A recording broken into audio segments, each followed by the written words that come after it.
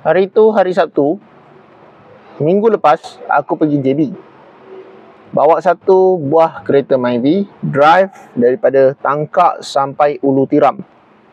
JB sana Dengan satu kawan member aku Pergi bawa kereta tunjuk customer. Kita sign agreement dekat sana.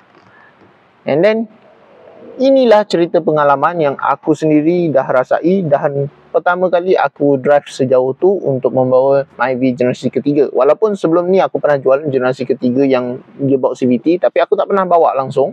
Just bawa customer datang showroom and then test drive. Uh, and then deliver. Just that's all macam tu saja. Kita tak pernah bawa lagi, tak pernah test drive lagi apa semua belum pernah. So itulah pengalaman pertama aku untuk bawa model G-Spec 1.3 yang paling rendah spek untuk Myvi third gen. Ha, so hari ni kita ceritakan, kita ulaskan macam mana feel dia. Let's go.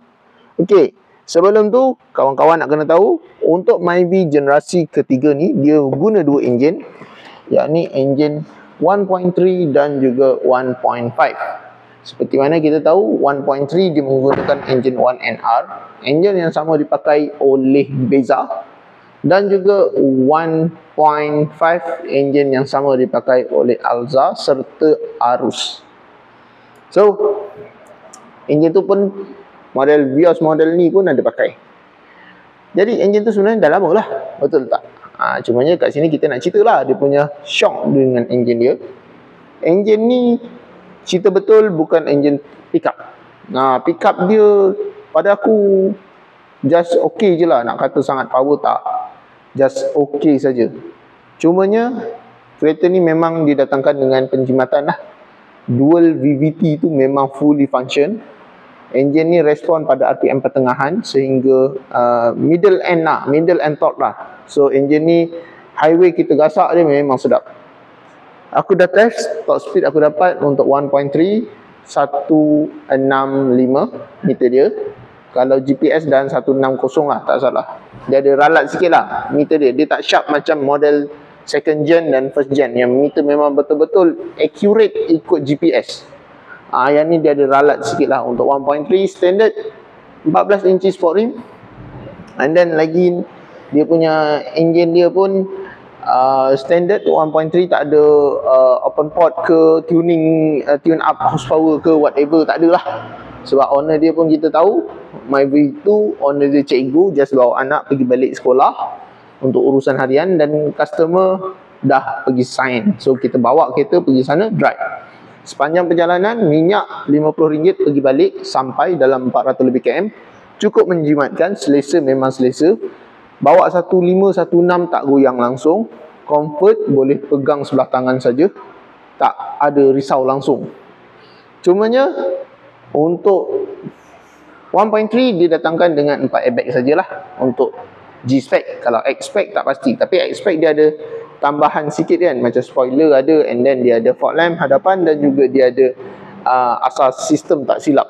Ha, yang tu dia tak ada. Walaupun dah keyless entry. Ha, itu saja bezanya. Tapi yang kita ready stock sekarang, kita depan mata ni hatchback tahun 2017 ada eco mode, ABS, uh, 6 airbags and then uh, pre pre pula. ESC sorry. ESC dah ada sport ring 15 door handle chrome spoiler dah ada fog lamp hadapan semua dah ada lah ha, ini adalah model hatchback. Bukan advance eh. Ni bawa advance lah. Tapi just nice sebab yang ni aku suka dia punya seat dia. Selesa dia pakai fabric sebab kereta kalau jalan jauh kita pakai leather ni kadang-kadang kita pandai sebab bila time hujan ataupun orang kita tengah driving tengah uh, apa cruising tiba-tiba orang brake mengejut kita akan mengelongsor badan. Yang ni just nice.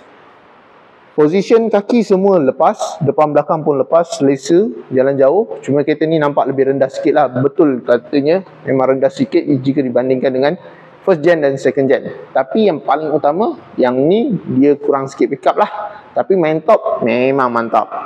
So berminat boleh hubungi aku 017 7145604 guys. Ok berminat kedai kita berada di Tangkak. Keluar daripada tol Tangkak range eh, area dalam bandar Tangkak uh, average dalam 1 point lebih km lah.